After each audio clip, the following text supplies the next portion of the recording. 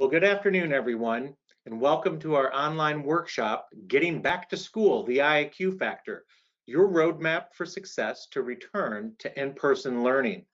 My name is Troy Raszka, and I'm the Vice President of Marketing and Communications for Pure Air Control Services. And with me today, I have Frank Santini, who is our Vice President of Strategic Initiatives and Business Development. How are you doing, Frank? Good, Troy. Thank you for having me. Excellent.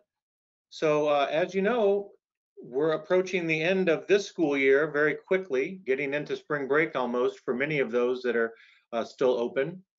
And so never before has this topic been more important than now as you all are starting to plan during that spring break and for the upcoming summer uh, for any improvements that still yet need to be made before the new school year starts in the fall.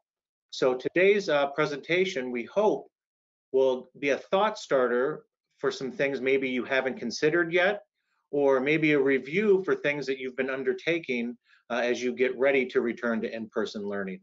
So today's agenda, uh, we're going to look at where we've been, where we are now, uh, what's going on with some of this CARES Act funding, and how to plan with that in mind, uh, and then the things that take up uh, making your school a healthy building. So establishing uh, a good baseline for indoor air quality, uh, sort of taking care of the things that really need to be addressed, uh, how to make your building a self-healing building, uh, and then staying out in front of it so that you don't have any other issues that arise, or if they do, you can address them very quickly. And then of course, we'll have time for questions and answers.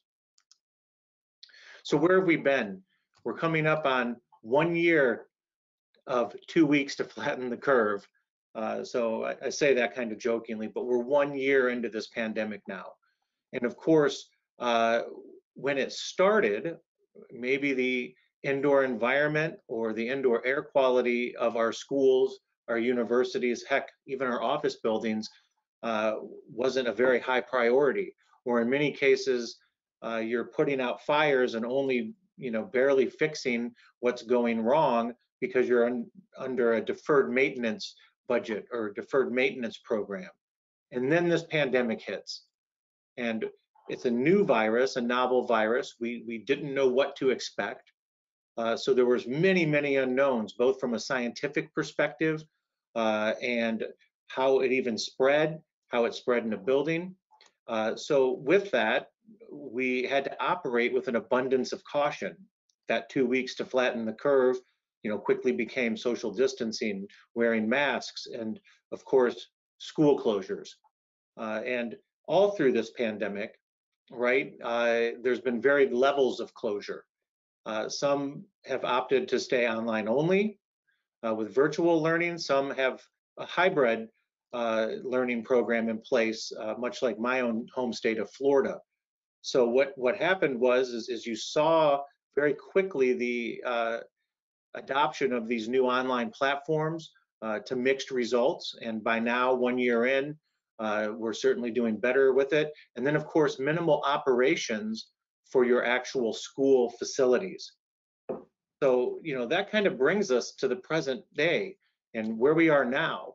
Uh, and, you know, full disclosure, uh, I have two uh, daughters. One is a sophomore in high school, and the other one is a freshman in college. So I'm starting to to see the nuances between K through 12 and higher education and what's being done uh, on both campuses and certainly within uh, our own school district, Pinellas County Schools, uh, to address this pandemic.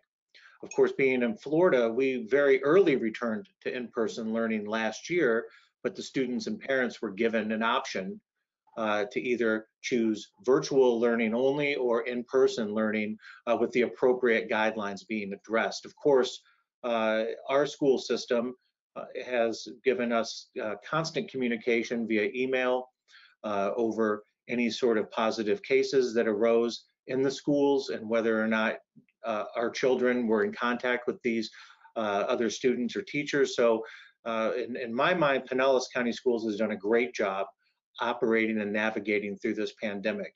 Uh, and of course, being partially open uh, as it is. So now here we are, we have more understanding Uh, that includes better science. Uh, we have improved guidance, uh, not only from uh, the Centers for Disease Control, but for organizations like ASHRAE, which help us understand the ventilation in buildings and the heating, ventilation, and air conditioning systems, and what to do during these uh, pandemic type situations. So we have improved guidance. Of course, as I said, we have various levels of reopening. So that includes uh, new safety measures, uh, you know, and this this could be plexiglass shields, this could be face shields, of course, more hand washing, uh, you know, social distancing, masks, uh, you know, maybe new traffic flow patterns, obviously, right, in the schools. And so, so there's new safety measures in place. And then again, we have this hybrid learning. I mean, some schools might be choosing to have in-person learning only a couple days of week and then the rest of the time online. Uh, again, schools like in, in my case, uh, your student chose to either be online only or in-person only. So uh, there's there's new methods of hybrid learning uh, that have been instituted. Of course, now we have the vaccines, so that is doing a lot to improve uh, the herd immunity for this uh, pandemic, and of course, instill a little more confidence in folks.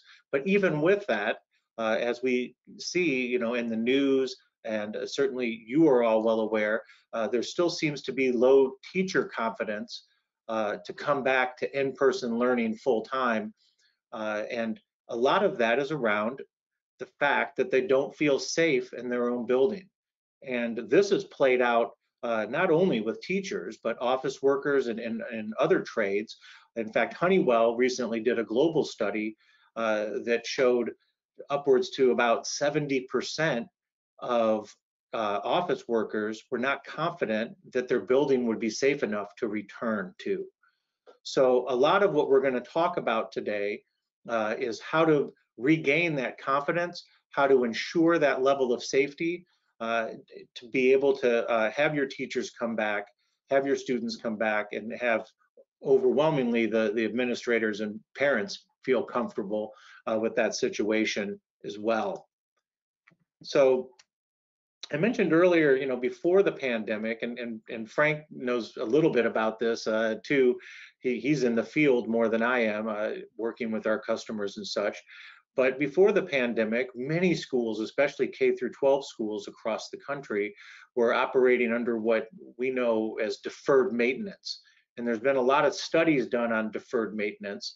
And so the reason that we're going to sort of touch upon this before we get in uh, to the rest of the content is that because some of these schools, some of your schools, uh, perhaps have already been at a deficit when it comes to the indoor environment or indoor air quality or your HVAC equipment. And then this pandemic just exacerbates that, uh, you know, to the point where now IAQ is a top of the mind priority. So, you know, Frank, why don't you tell us a little bit about deferred maintenance and, and how it relates uh, to your buildings and equipment?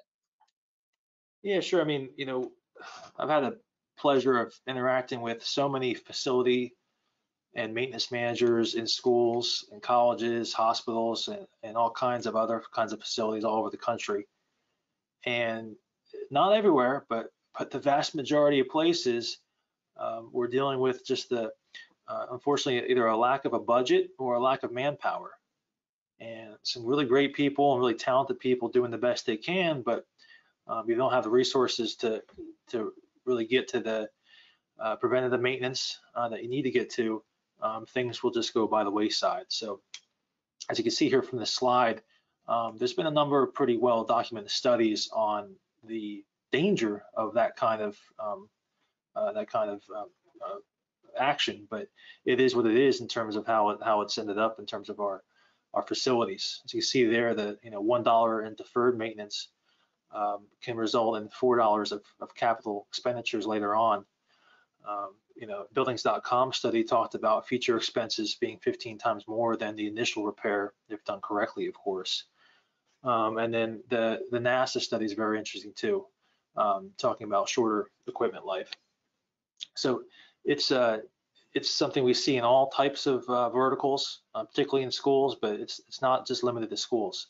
Um, and so that's part of what we want to cover here today is um, how we can integrate some of the solutions as we get back to school to helping this deferred maintenance problem. No, that, that's absolutely correct. So when we talk about budgets and, and then funds and planning, you know, the, the first thing that comes to mind is, is the CARES Act, which obviously was, again, passed almost a year ago, right? Uh, we're coming up on the anniversary and then refined and then even clarified a bit more in December of 2020. Of course, tomorrow they're voting on the second round of uh, relief uh, through the US Congress. So it remains to be seen uh, what the breakout for schools is going to be from that legislation. But we do know a few things about this uh, funding source that has come through, and that's, of course, the Coronavirus Aid, Relief, and Economic Security Act funding, right? And so a large chunk of that funding uh, has been referred to as the Education Stabilization Fund, or the ESF. And that saw almost $31 billion allocated. And this is the verbiage from the Act uh, to prevent, prepare for, and respond to coronavirus. So very specifically for this pandemic, uh, which of course includes the safety of your buildings. And within that fund, there were two main points uh, that sort of address K through 12 and then K through 12 and higher ed or uh, institutions of higher education, IHE, and that is uh, the Elementary and Secondary School Emergency Relief Fund, or ESSER, and then the Governor's Emergency Education Relief Fund, or GEER. And of course, that uh, leaves some discretion up to the governors, being the leaders of their state, to know what's best in their state uh, for that funding. So uh, within that ESF, and this verbiage is coming from the Catalog of Federal Domestic Assistance or CFDA 84424, which is the ESF under the CARES Act. So this document was actually uh, circulated by the Department of Education.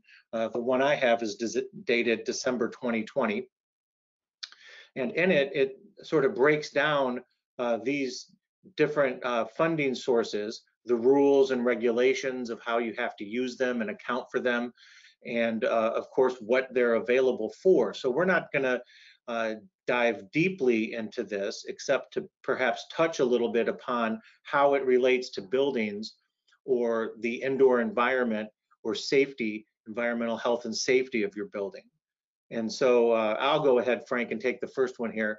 Uh, so in section uh, 18003D, and this is addressing the ESSER part of it. Uh, number five, the verbiage within uh, that chapter or paragraph uh, included to develop and implement procedures and systems to improve preparedness and response efforts as number five. And then number seven, uh, to purchase supplies to sanitize and clean the facilities. So this is some of the things we're going to be talking about and some of uh, the areas that got affected maybe by deferred maintenance or lack of funds even before coronavirus. So, uh, and then in the governor's uh, emergency education relief, Frank, uh, what I, I, guess you can just read what it says here, but maybe you can expound on it a little bit. Yeah, sure. I mean, I think that the big takeaway um, for, for folks watching this is some you know, this this webinar is open to the public, so some folks may already be, be well aware of what's out there, but there are a lot of clients we talk to who are not aware of the opportunities here. Um, the bottom line is through the CARES Act, which was passed last uh, last spring, that, supplement uh, the CRRSA, which is passed just this past December, and potentially additional funding that, that they're working on right now in Congress. Um, school districts will be able to apply uh, for what's called subgrants through their through the state, uh, which receive in turn money um, from these grant from these programs from the federal government. Um, and the money should be apportioned in accordance with Title I uh, distributions. Um, so there's quite a bit of money coming coming to specifically devoted to schools. Um, some of that money will be able to be used for for things unrelated to the topic of this webinar, uh, but there is, and I quote here, considerable flexibility in determining how best to use these funds in terms of trying to keep facilities safe, um, and around this concept of the COVID-19 pandemic. And as it relates to this particular slide, in addition to um, the funding that'll be available through you know, whatever your Department of Education is for whichever state you're in, there's also going to be a discretionary fund through the governor um, that the, the governor of each state will have some discretion as to apply some additional funds to schools as well. Um, and again, the, the, the language here is to continue to provide education services and support ongoing functionality of the LEA, which is uh, uh, just an acronym that the federal government and Department of Education uses for school districts, but also could be in charter schools um, and other school uh, on other non-public schools as well. Although the details around um, if it's a non-public school, it gets a little bit more complicated beyond the scope of this particular presentation. But the, the takeaway here is if you're a school district uh, or a charter school or any kind of educational institution um, serving students, um, you, your team, your CFO, your comptroller, uh, your VP should be looking into applying for uh, for grants through the state because the state is and is going to continue to receive federal funds that can be used towards uh, a lot of things we're going to be talking about today and towards other things that may benefit your institution. Yeah, that's absolutely correct. And, and the final piece of this puzzle uh, that was, again, under the CARES Act, under the ESF, uh, referenced back to the Cash Management Improvement Act, and specifically Part 3, Section F, uh, which says that this ESF language, prevent, prepare for, and respond to coronavirus, if as long as what uh, you're doing with these funds relate to that, then you can also uh, be able to get a grant through this program. Uh, so this was sort of green lighted through the CARES Act. And, and that section specifically uh, is uh, 200311, 313, and then 439, and that's equipment, real property management. And so again, uh, to quote that actual piece of legislation, it says funds can be used for capital expenditure of general and special purpose equipment, real property, and construction for improvements to land, buildings, or equipment that meets the needs of the ESF. In other words, prevent, prepare for, or respond to coronavirus. So, uh, you know, the federal government uh, realizing these needs uh, has really you know, stepped up and is trying to address it and help you all uh, address these needs in your schools. So as we start to think about those funds, and again, as Frank said earlier, you know, many of you, uh, probably most of you, have already uh, researched this, or again, uh, your CFO, purchasing department, uh, you know, comptroller has researched this and is probably already using some of this funds. So uh, as we look towards the second round of funding that they're voting on tomorrow for this year, and we're moving ahead planning for you know hopefully a return to in-person learning for almost all the states uh, in the fall of 2021 you know now you got to start thinking about where uh, you need to put these funds what you need to do uh, to make your school safe for that return to in-person learning. So you know what we talk about a lot here being an environmental company we've been around since 1985 so uh, you know covid-19 this isn't our first pandemic. Uh, many of our procedures and things that we've developed over methods we've developed over the years uh, fit perfectly into uh, responding to this pandemic. So uh, we kind of refer to it as creating a holistic plan for building health. Don't just focus on one area or one piece of technology because there is no magic bullet uh, to creating a safe environment. It's a combination of things. So, and that absolutely starts with following the guidance right? So the first cornerstone of your plan is going to be follow the guidance, and that could be from your local, uh, you know, school boards uh, to your county uh, administrators or the state, right through the federal level, right, including the CDC or ASHRAE. Um, you know, so again, that is sort of the governing body uh, for building systems that includes uh, HVAC, uh, which we'll talk about in depth here in a couple slides. And so then what you're going to want to do is evaluate uh, your performance to date. So again, many of you have already undertaken many things, especially the schools that are already partially open or open, uh, such as elevated cleaning. You might have installed new technology. Uh, you might have already looked at uh, certain areas we're about to talk about. So, you know, we always say, go back, take a look at, at what you're doing and, and make sure it's, it's effective uh, and look for areas of improvement, right? So evaluate what you've done to date, you know, target this funding that we just talked about uh, and, you know, the procurement process. And so that includes the CARES and, uh, you know, the uh, ESF. And of course, if there's any cooperative contracts that you use. So uh, as, again, you know, this return to in-person learning might be sneaking up on you, uh, and you might not have time to to go to an open solicitation and and take all the time to write it and review all of uh, the bids and questions and any kind of you know uh, contest that comes up against that. So uh, review your cooperative contracts. Uh, we have plenty of uh, cooperative purchasing opportunities through Pure Air Control Services. Uh, and so, you know, we encourage you to use those. Again, as I said, re review and improve completed items. So, you know, if, if you've already installed air purification or better filtration, what are you doing to ensure that it's actually working? Are you monitoring uh, whether or not your particles are going down or whether or not it's producing enough ions? And, and again, we'll get into this a little bit more, but, but you know, always uh, measure and make corrections uh, where needed, of course. And then anything you haven't addressed, uh, those should be on the to-do list as well. Like what else is there in our school that we can optimize uh, to make it safer for teachers, staff, and students? Uh, and that sort of really brings us to the uh, you know heavy lifting part of this content. But you know what does an optimized school look like? What does optimized indoor air quality look like? So you know we'll let this sink in, but these are sort of the key areas uh, that we're talking about when we talk about a holistic approach or a holistic plan uh, to the indoor environment. And uh, again, not only for schools, uh, we we do this for hospitals, and we have been doing this for hospitals through the pandemic, uh, as well as Class A office buildings, hotels, resorts.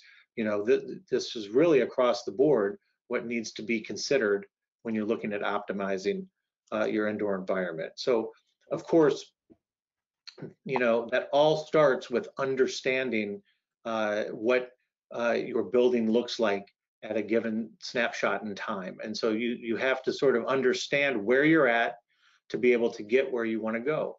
Uh, and, and so we refer to this as establishing the baseline or establishing or testing your baseline indoor air quality. And so without getting too far into the weeds, you know, we like to make the analogy that the HVAC system, uh, your heating, ventilation, and air conditioning system, and we realize there's schools in the north that might not have a modern central HVAC system. So even up to and including the way the building itself works, the hallways, opening windows, uh, creating airflow through the building. But the HVAC system is like the lungs of a building. It takes a breath for the building uh, four to five times an hour. And of course, with this ASHRAE guidance, you know, they're saying to open uh, the outside air and let it in more, and they're calling for higher air change rates, maybe as much as eight times an hour. Uh, so if you think of it as taking a breath, getting rid of all the old air inside of the classroom and the hallway and the auditorium, and then bringing new air in, a combination of outside and recirculated filtered air, that's why HVAC is critical uh, to the indoor environment. And anything that's wrong within the HVAC system, right, could drastically affect the indoor environment. So Frank, tell us a little bit about what this HVAC hygiene assessment or being able to address the HVAC system looks like. Yeah, I think it's important too to think about this like from a overview perspective for the audience listening here. You know, you want to try to avoid the mentality um, that unfortunately some folks have where they just want to get the coronavirus problem off their plate or you know, just do one thing or buy one thing, whether it's a MERV 13 filter or increasing the outside air or, or whatever, whatever the case may be, and just say, okay, I took care of, you know, the, the building. Uh, not to say those things may not be a good thing to do, just that you should think of it as an overall holistic problem. Um, you know, part of it relates to the fact that unfortunately there's a lot of psycho psychology to this as well, and you have to just be be aware that um, you know when folks are complaining about the air quality in the building, uh, while there is a lot of psychology to it, there's a lot of science to it as well. And so thinking about this from the perspective of instead of just trying to get that one product or that one magical solution, step back and understand what is going on inside your building. You don't go to the doctor and immediately get surgery. You go to the doctor to get diagnosed and establish what your actual conditions going on inside your body so the doctor can make an informed decision about what's going to help your particular body. Similarly, for an HVAC system and the next slide, which is the overall building, when you look at an HVAC hygiene assessment or an overall what we call a building health check, we're trying to get understanding of what's going on inside the building and what may be able to be helpful going forward, not just for a short-term coronavirus solution, but in general to improve the building health, improve the indoor air quality, improve the cleanliness, quite frankly, of what's going on inside your air handlers and air ducts, which if you have those in your building, you may not realize the condition uh, because of deferred maintenance. Um, and also help you make informed decisions about capital planning going forward uh, because of that deferred maintenance and some of the older equipment you may have. So that that's a good way to think about this as, as we go forward, taking that step back um, and not just making a, a, you know a rash decision as to just getting the the quote unquote COVID-19 funding issue or COVID-19 problem off your plate and stepping back and understanding what can we really do that's not only going to help us in the short term, but also help us moving forward and in the long term to, to do a great job of keeping the building healthy, uh, helping improve the efficiency of the building, um, and also you know improve the attitudes and comfort of the folks who have to be there every day. No, that's well said, Frank. It, it really does sort of set the stage as to why this sort of one-two punch with uh, assessing your HVAC system and then making a larger building assessment is so important uh, as a foundational step uh, because one, you're collecting data, uh, you'll have a report generated as to what exactly is going on. So it will literally give you a roadmap on things to correct and corrective action to take to bring the health of the building in line and again, establish that good baseline. So you know, an HVAC hygiene assessment does just that. It will help prioritize the maintenance of the systems, whether you need to restore them or replace them. As Frank said, it's going to optimize the indoor air quality, the comfort, uh, hopefully reduce particles and such, and then actually make the system more energy efficient because we'll look at that as well. So, you know, we're going to look at the visual condition. We're going to take uh, environmental samples from these air conditioning units and, and perhaps the ductwork. We'll look at airflow and energy testing, as I said, duct leakage, uh, which can lead to, you know, infiltration, uh, you know, bringing in particles from outside of the controlled or filtered system, right? And we're going to look at the pressurization and tightness.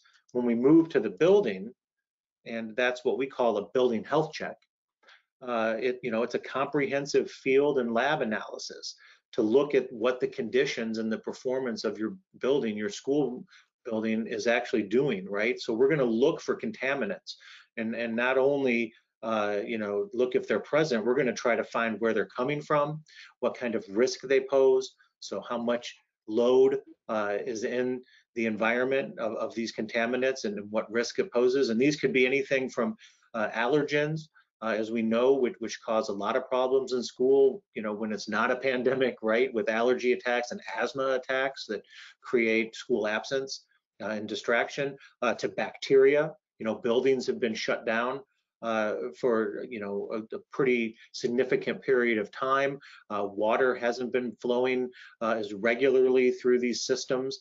Uh, and Legionella is a bacteria, which creates another kind of respiratory disease, Legionnaire's disease. And so we can certainly, you know, we'll take a look at the water and, and test for Legionella bacteria and other kinds of bacteria, of course, mold, and then viruses. We can test the environment for uh, SARS-CoV-2, and and we have a, a very direct and, and pretty simple test to take off of surfaces, uh, which we use PCR technology uh, to look at the very same PCR or molecular technology to determine the presence of the virus, or we could do a more uh, investigative study and, and take bioaerosol samples within a building uh, to see whether or not there's the presence of the virus uh, in the air. So uh, we have options there. Of course, we look for floor and wall moisture, which that can lead to bacteria and mold issues, right?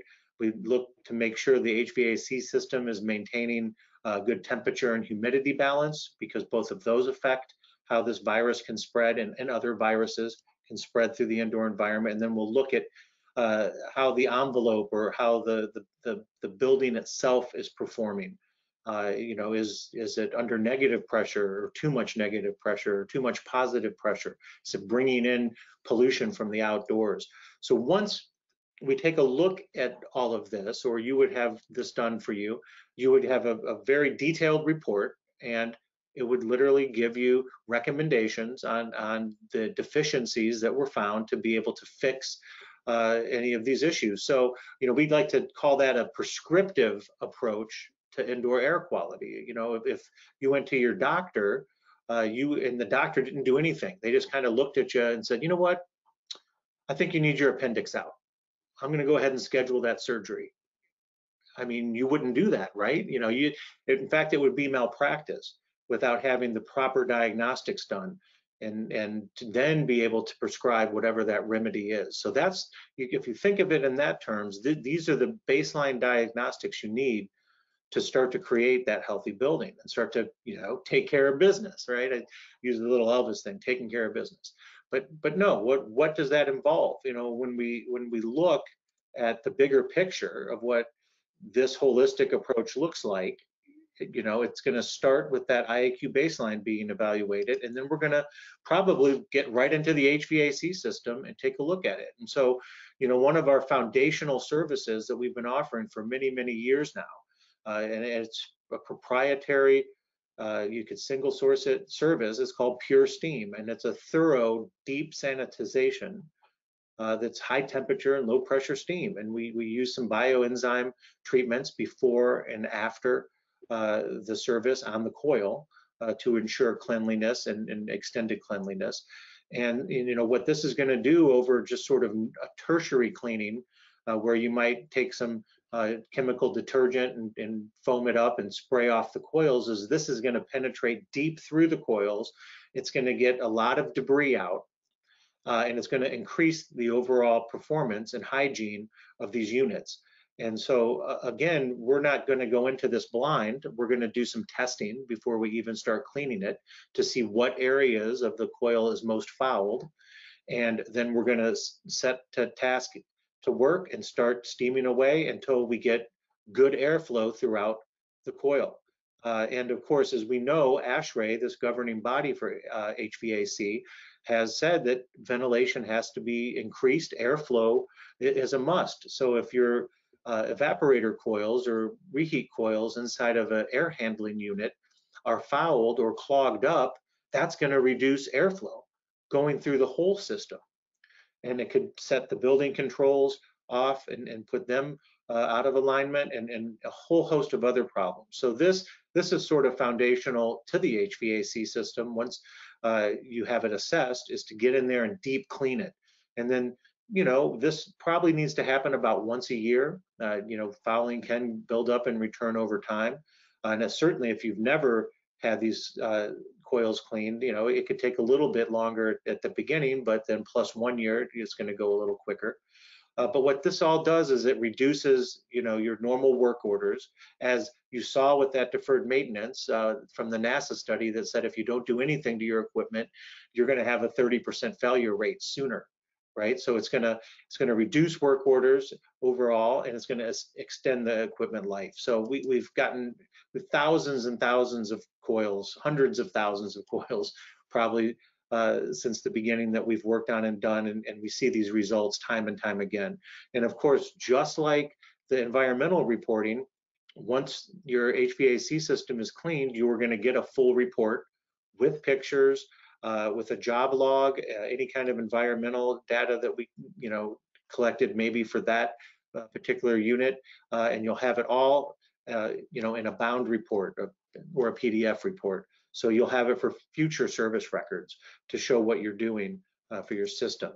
And then to really take it to the next level, we offer a restoration process of the total a air handler unit or AHU. And uh, Frank, why don't you take us through this a little bit?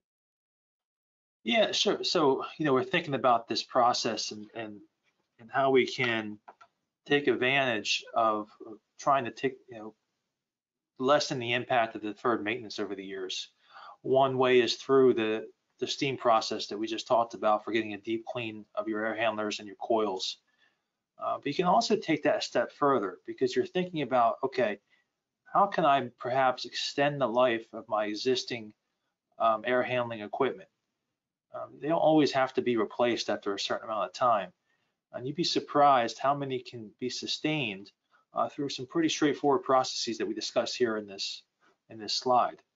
Uh, taking the, the pure steam process that we just discussed and also combining that with use of very specialized coatings. And I'm not talking about type of coating that you would buy at Home Depot or, or Lowe's, uh, but very specialized coatings that are, are designed and meant to withstand the pretty uh, intense and harsh environments that you see within air, air handling systems and um, on the exterior sides of rooftops on the air handling systems that are getting beat, beat down by the sun or the weather conditions all the time and are corroding the, the environment, uh, the, the equipment itself.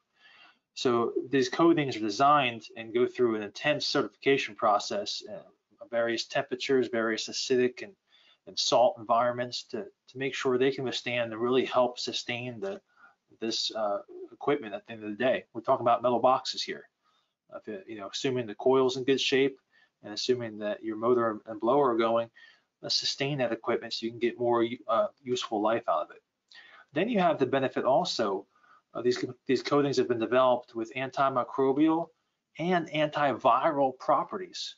So you have the benefit of being able to to show your constituents um, in your for your institution that hey, not only are we um, helping sustain and save capital expenditures by helping keep these units going for a while, but also this is these are antiviral properties, and they've actually been tested on the on the COVID-19 virus surrogate uh, to show to show inhibition of, of, that particular virus. So very very exciting stuff when it comes to uh, what what, the, what, this can accomplish for um, not only as it relates to COVID, but in general helping to you know help uh, facilities plan and uh, and keep their equipment going for a long period of time. The other piece uh, mentioned here in this slide is insulation. You know, we all, I'm sure, have seen from time to time, whether it's in your own facility or other places, where you have these single walled fan coil units or air handlers or, or rooftop units that have exposed fiber liner in, in the inside of the air handler. Um, and this is a notorious um, concern with respect to mold and bacterial growth because the fiber the fiberglass liner can you know, allow allow constituents to get inside of it and, and grow. And so replacing that with a closed cell material um, is very important in, in terms of making them more hygienic within the air handler and helping again extend the life because it, uh, our, our pure cell is uh, has been lasting for years and years. We've done units where we've cleaned the units and had the pure cell in there 20 years later. It's still in great shape. Um, and then the last piece that's referred here in this particular slide is the concept of potential uh, motor retrofits or fan retrofits within the air handler. So taking your old belt-driven blower system, potentially retrofitting it uh, with a fan array, fan array or fan wall, depending on the, the size and, and, uh, and consideration of the way the unit is set up. So all those things considered, you can you can potentially look at a uh, refurbishment of an air handler for 20 to 40 percent of the cost of new, while at the same time providing some peace of mind um, uh, to, to, the constituents within your school or, or, institution that you have antiviral coatings inside your air handlers as another uh, thing to tout about how you're keeping the building safe. No, that, that's an excellent point. Uh, and, and, again, referencing back to that CARES Act funding and the ESF, I mean, this is falls squarely uh, in the range of equipment, uh, equipment restoration or recapitalizing a piece of equipment. Uh, and of course, these coatings uh, come with a five-year warranty. Uh, and we also have a workmanship warranty here at uh, Pure Air Control Services. So this kind of just takes you through the process. As I said, there's a handout in the handout tray that actually goes into great detail about uh, one of the units we did for Pinellas County Schools at a K through 12 school rooftop unit. But as you can see here in this slide, uh, there's actually some microbial growth uh, growing here uh, where the metal meets on the outside of this unit. This unit is in a mechanical room, so you can kind of very clearly see the before and after effects of this antimicrobial pure coat coating, as we call it. Uh, and then this is what an exterior unit might look like. And this one, you know, if you look at, at the before picture, it's not in terrible shape, but uh, it's been baked in the sun and it's kind of getting chalky and rusty and there might be some infiltration there. Uh, and so to be able to coat these with you know high performance coating, water resistant, UV resistant, it's been tested in the Arctic and it's been tested in extreme heat and sea salt. Uh, even on like oil rigs, uh, these things will hold up and will definitely increase the lifespan of the equipment. Uh, again, same with the drain pans. And Frank, as you know, and, and, you've been on a lot of site visits, these drain pans are notorious for harboring uh, microbials if, if they get standing water in them as they begin to rust. Uh, and so, you know, it's almost crucial that these get cleaned up, scraped up. Uh, what we do is we use garnet, uh, not sand, but garnet, and we garnet blast them and get it down to the bare metal and then prime it and refinish it with these high performance coatings. In this case, our pure coat and then our pure liner, which is the blue pan liner that you saw in the opening slide. And then, you know, Frank, you can kind of talk a little bit about this, but suffice to say, as Frank was talking about this insulation replacement a little bit earlier, if you look at this picture, uh, you know, on the before side, uh, that is fiberglass, exposed fiberglass insulation that is just teeming with microbiological growth and, and mold mold growth. And this is basically on the fan side, and it'll be blown through and into the coil. Uh, and so this is a before and after. We took this entire fan out and replaced it with uh, what Frank was calling a fan wall earlier. Mm -hmm. Yeah, I mean, as you see here, you know, now we have a five uh, array or fan wall system that took the place of the blower. And again, the, depending on who the audience here is, you you may only have some air handlers that are eligible for this kind of full retrofit. But just to educate the audience and make them aware of what's out there, what can be done with your existing equipment. Remember, as we're sitting here and thinking about this, again, I'll emphasize the, the quote, considerable flexibility to be able to use these funds to help better your school and make the building a better place to, to live and work. So a lot of opportunity here uh, to, to uh, use your stimulus funds to be able to help um, increase, in this case, not only increase the, the indoor air quality by removing the, the old insulation as you see here in this photograph, but also by, not, by now having redundancy in multiple fans, you're better in the ventilation. Uh, so you have a, you have, uh, which is obviously, a, everybody knows that at this point, better ventilation um, in a particular area is, is well, well regarded to help uh, prevent the transmission of COVID. So a lot of opportunity here to look at what can be done um, to really improve uh, with this opportunity to, to, to in, inject funds in the system and help uh, allay these deferred maintenance problems that have accrued over the years in a particular school or school system. No, you're absolutely right. And, and another thing to be thinking about as we're moving through this deck uh, is that th these are all plug and play. So we realize that a lot of schools out there are, are working already in these areas or or some of our uh, mechanical contracting partners that are on the workshop today have already addressed some of these key areas, uh, but we're presenting them just to show, again, that, that it takes a holistic approach to do that. So once, uh, you know, you address the actual air handling units and supply and return plenums that, that uh, are hooked up to them, then it's time to take a look at that ductwork and what what could be in that ductwork or has built up over time that could affect the overall health of the building, right? And so we have developed a very high level uh, of duct cleaning.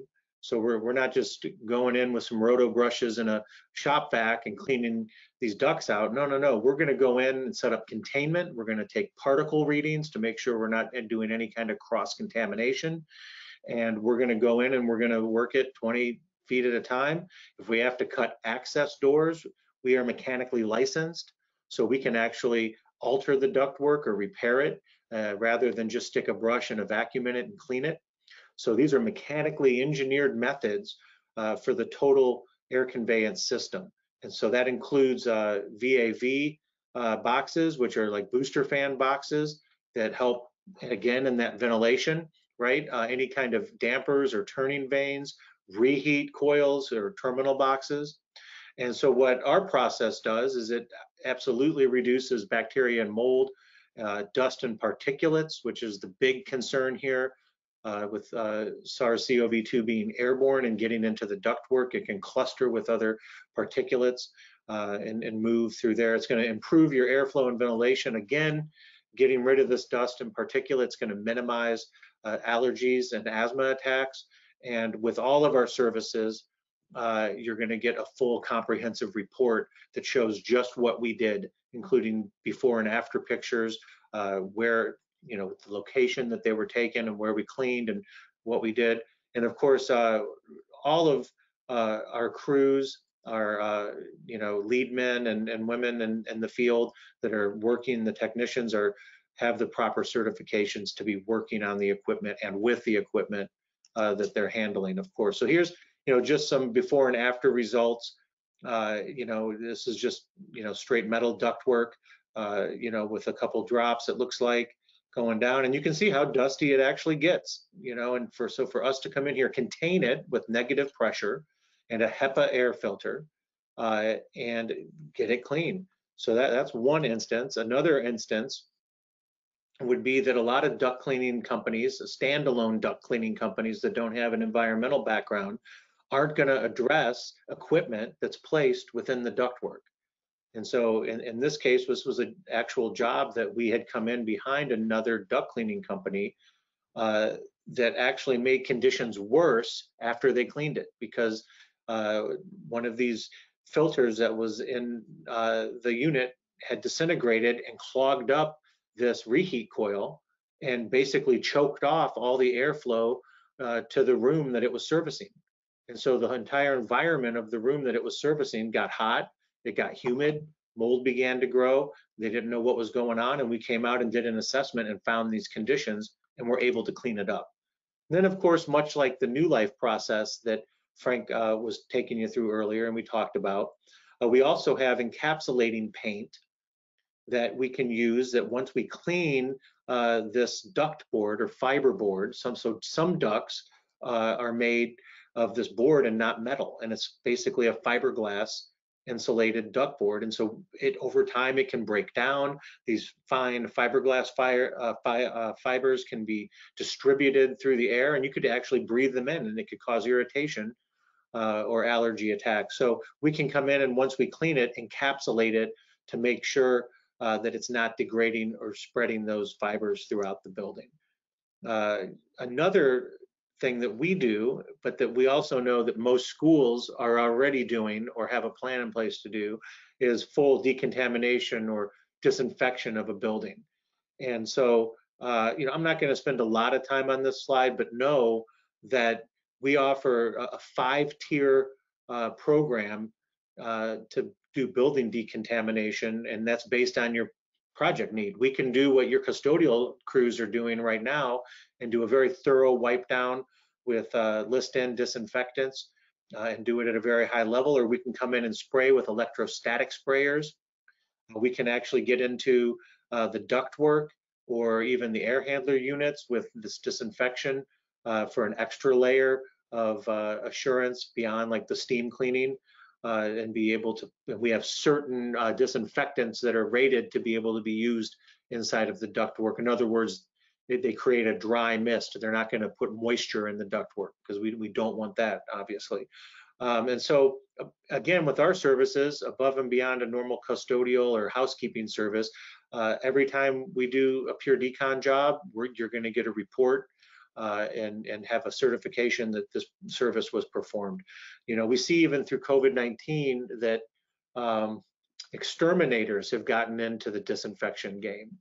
Uh, you know, people that would normally come out and spray for bugs are now, you know, addressing the environment in some way. Uh, you know, and, and they probably don't even know the nuances within the environment and what they need to do for something like a virus as serious as COVID. So that brings us to, you know, almost near our conclusion now. So thank you for hanging in there with us. We're we're almost done, and we'll we'll answer uh, any more questions as we get there. But we want to talk about this concept of self-healing buildings.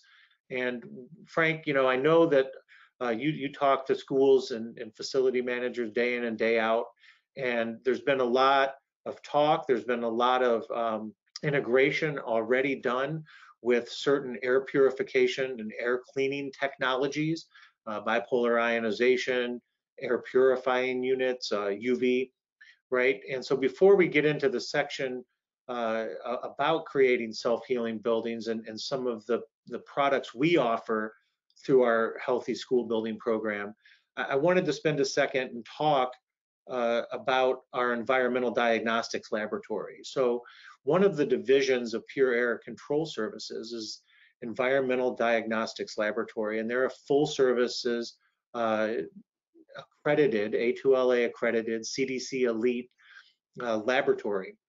And as part of that laboratory, and of course, this is the laboratory that's going to support our building investigations, our HVAC hygiene assessments. They're going to be looking at the samples, providing the analysis and reporting on the microbiological side. Well, this laboratory also has one of the few commercial environmental test chambers uh, in the country. So when we start to talk about air cleaning products and air cleaning technology, uh, over the years, even before the pandemic, we've assessed uh, you know, just about every single air purifier, uh, type of air purifier, right? Uh, needlepoint bipolar ionization, UV lights, um, different kinds of HEPA filtration units uh, over the years in this test chamber. Uh, you know, and again, this is a commercial endeavor, so we have companies coming to us to test their products uh, for efficacy before they put them out into the marketplace. So we have a wealth of data uh, on the varying degrees that this technology works. And, and, you know, most of it does a good job and it works, but it's also influenced uh, the decision for the products we've decided uh, to move forward with manufacturing uh, and or reselling uh, as far as putting sort of our seal of approval on them for knowing that they actually work and work at a very high level. So, you know, that being said, uh, this this is a, a, tremendous asset to us and you if we come alongside in a consultative role to know that any technology we're going to put out into your school has been tested in this test chamber, uh, which can simulate a variety of indoor conditions. It can be inoculated with a variety of contaminants. Uh, so it can we can increase the particle load and see how well it cleans it out. We can do different surrogates or different kinds of bacteria, mold, uh, VOCs. So it's it's really provided a lot of data for us to build upon when we start looking at these technologies and putting them uh, into place, into play. So uh, obviously, there's two sort of ways we can look at uh, creating what we call a self-healing building. So you know, once the baseline is established, once all of the equipment is is clean and, and functioning uh, as designed or exceeding uh, what like ASHRAE is recommending to do, you know, now we can look at maintaining that environment or creating a self-healing building with these kind of air cleaning technologies. And so there's a systemic approach, technology that works within this HVAC system, and then there's what's called a localized approach, or an approach that works actually inside of the room or inside of the building. So when we look at the systemic side, uh, you know, we're looking at these products and, and they, they've really taken the market by storm right now. And again, to varying degrees of efficacy, but it's uh, this technology called bipolar ionization. And so essentially, uh, there's different kinds of equipment based on the kind of equipment it's going to be installed in. Uh, and there's various ways that it can operate. It can hook into your control system. It can come on and off with the air handler unit. It can just stay on all the time. So uh, we don't need to get too far into the weeds here, but just know that there's lots of options available depending on your equipment or situation. But what this does is that it, cre it creates millions and millions of positively and negatively charged ions. And these ions travel through the air, which is where SARS-CoV-2 is, right? And at the molecular level, they're always looking to find their equal opposite or another molecule that they can they can interact with to be able to uh, you know form their new molecule that they're trying to do you know it's real basic chemistry stuff right uh, but anyway, so what they do is, is in this case, you can see the sort of four main pillars of how bipolar works in the environment. And one specifically for the virus or bacteria, uh, you know, or an organism, a microbiological organism, as the organisms are trying to divide and reproduce, these ions are going to come alongside of them and take the hydrogen off of the viral cell and effectively inactivate it. And at the very basic level, that's how it's working. There's been numerous studies uh, on this and on the efficacy of this. Uh, again, with the use of chemicals, higher use of chemicals for cleaning the building, it's going to do a very similar process to be able to uh, break down uh, the molecular structure of, of these chemical odors and the chemicals that are floating uh, in the air. The same with gases or smoke. Uh, it's going to do the same thing. And then lastly, uh, which is also huge, is it's going to cause any of these sort of um, uh, you know non-organic or or just these particles, these dust particles, fiberglass particles, human skin cell flakes, right? The the dust and the particles in the air, it's going to cause them to cluster and form bigger clusters of particulate that are then more easily captured in the filter. So uh, this is basically how bipolar ionization works.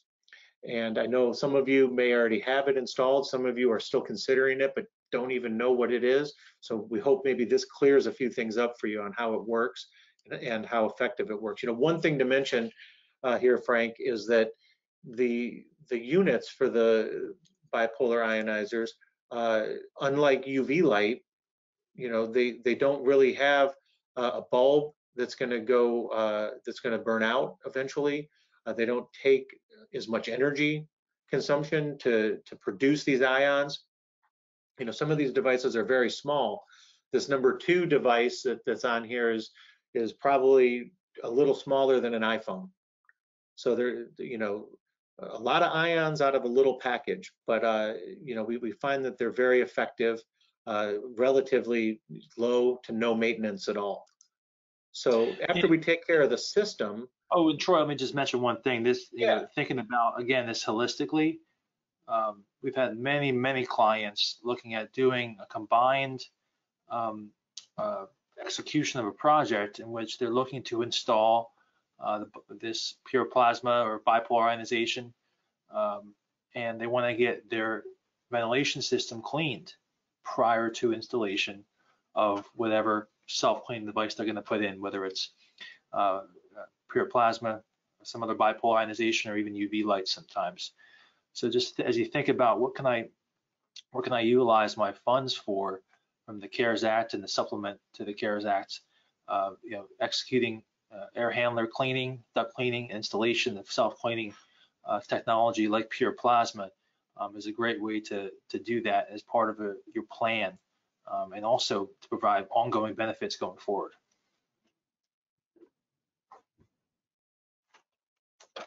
That's a great point, Frank. So that, that brings us to the in-room solution, which uh, again has, has been extremely popular and, and we've been working with a lot of schools uh, to date through the pandemic, uh, helping them choose the right kind of in-room air purification device and where to place it uh, and you know, because it's not again, it's not a one size fits all proposition. Uh, you're looking for a device that's going to operate within the set amount of cubic feet in a room or square feet in a room.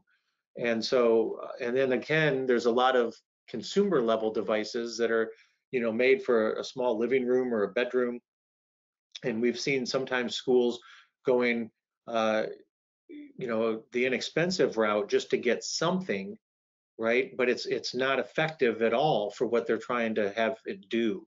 So uh, again looking at this from a holistic or an environmental approach you want to be able to choose the right device to get uh, the most bang for your buck as far as cleaning uh, in these rooms so uh, we, you know, we've partnered with Fellowes AeraMax Professional. We offer a, a well-rounded program with them uh, that can even include uh, servicing the units with filter changes. Uh, so that would be one less thing that your facilities team would have to do when the time comes. But uh, these are professional grade, wall mounted, or there, there's a stand option that you can use to move around a room. Uh, air purifiers that offer a multi-stage filter system. They have three sizes depending on the square feet. It is true HEPA. It has its own bipolar ionizer. And then it has what's called EnviroSmart technology. It senses the occupancy of the room and will turn on and off or increase fan speed or decrease fan speed depending on occupancy, not only for energy efficiency, but also uh, to do a more effective job. Uh, and then it and that it also includes PureView technology that actually shows you the particle load of the room uh, and how clean the room is, and of course when your filter needs to be changed. And it also has very quiet operation. So this is basically how it works. It's a three-stage filter, has a pre-filter, a carbon filter, uh, and then the HEPA filter that has antimicrobial, antiviral coating on it. And so it brings all of the constituents in the room through the unit and then out through the top where the bipolar ionizer is. So you would be getting, if, if let's say you already have bipolar ionization in your system, uh, your system is being cleaned, it's coming through into the room, and then this continues to clean the room, uh, you know, where you're at. So it's, it's really a, a great device that they're not uh, very expensive at all, considering what type of device it is. Uh, and again, we've helped many schools uh, with this technology. And again, we tested this technology before we decided to partner with AeraMax and bring it to market. And so, yeah, Troy, I'll say a few things here. Yeah. The uh, you know, the teachers love this device, and I'm cognizant probably some of the audience here has already dealt with um, just a flood of wannabes out there in the market, and and the temptation to go after the, the cheap, quote unquote HEPA air purifier on Amazon or whatever the case may is may be is there. Uh, particularly if you have a lot of classrooms, we get it. You know, if you have a lot of classrooms, it's gets to be um, a hefty price to, to, outfit all your classrooms with an air purifier.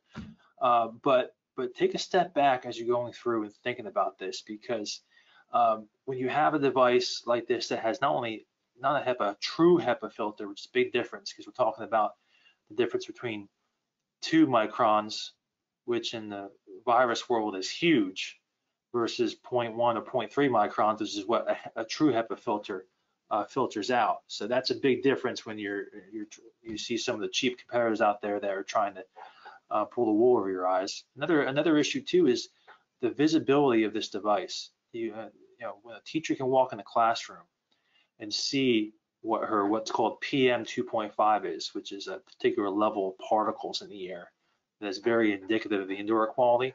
Measuring that measuring the levels of VOCs uh, and actually seeing it and showing it right there as a percentage on the on the device uh, like an LED uh, like iPad screen you can see.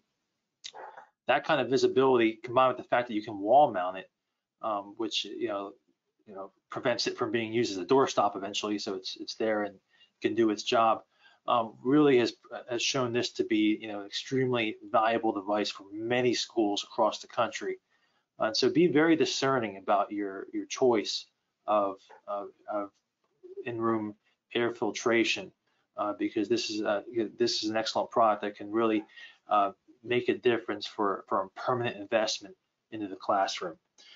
Um, Troy, I know we're coming up on the on the last year. Oh yeah, cover IQ guard real quick, Troy, and I'll, and I'll, I'll sum it up. Yeah, no, no, exactly. So, so really, once you've done all of this uh, work in the school. You've established that great baseline. The equipment's clean. Now you're chugging along, self-healing your school buildings. Uh, what do you do to stay out in front of it? Because you know you're you're not going to have us, you know, come out every week and keep testing your building, right? Uh, that that would be very cost prohibitive.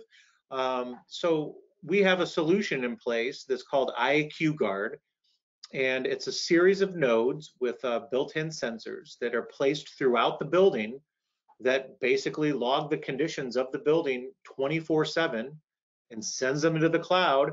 And then your facilities team or administrators uh, or someone from our team can log on and check uh, the conditions at any time that they want. Of course, parameters can be set up to send alerts if any one of these conditions start to to trend down into the negative for an extended period of time. Uh, and these alerts can be sent via text or email. And then of course, uh, you're gonna be able to generate reports.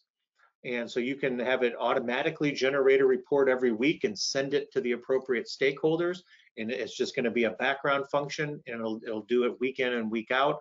Uh, or you can go in and custom make reports uh, to look at it by quarter, you know, what was the school building doing over the summer with low occupancy versus what is it doing when we're at full occupancy? You know, basically anything that you can imagine to slice and dice the data, it, it's going to be able to do. So it's a really cool, uh, you know, platform to use to stay out in front of what these baseline conditions are and anticipate problems and have that insight and visibility. And it, you know, again, I think I covered most of it, but really what it's going to monitor here is your temperature, relative humidity, carbon dioxide, uh, particulate matter, which is uh, Frank talked about a little bit earlier, uh, and total volatile organic compounds. Now, it's going to monitor all three sizes of particulates. So, uh, you know, 0.03, which is, you know, the very, very small respirable size particulate, uh, PM 2.5 and PM 10. So those are those are all good indicators of how well are your air filters doing. If you've increased to MERV or HEPA filters, how well are these air purifiers doing? Maybe it's it's an early warning sign that the filters in those need to be changed if the particle load is higher, right? CO2 is a good uh, constituent for tracking ventilation. So, you know, we've installed these devices, you know, across hundreds of buildings and we can look and actually see when the building's occupied because CO2 goes up. And then at five o'clock in the office building or 6.30 or 7, we see the graph go down and it's downtrending because the building's not occupied. We've installed these in hospitals near a surgical suite where we could see when doctors and their staff were scrubbing in or scrubbing out of surgery because the volatile organic compounds would rise to an unacceptable level and then immediately dissipate. So it's, it's a very cool tool uh, to be able to stay out in front of it. And it, it's kind of a subscription based thing. So we would come in, we would do all of the setup for you, and then there would be a, a sort of monthly fee to keep this cloud uh, and reporting system going. Uh, but again, it's relatively inexpensive and uh, it can operate right over the school's Wi-Fi or uh, for folks that have very secure networks or don't want this tying into their local area network, we can also provide an option with its own cellular router and, and cellular account to take it up to the cloud. So uh, really neat feature. Uh, a lot of schools might even have this right at their front desk with, with the check-in in the morning uh, to show that, that the conditions are all in, in favorable or good standing. So uh, a really, really cool tool. A lot of people are jumping on board. And, and what we liked about this is, is the integration and uh, the ease of use of it, and as well as the reporting functions.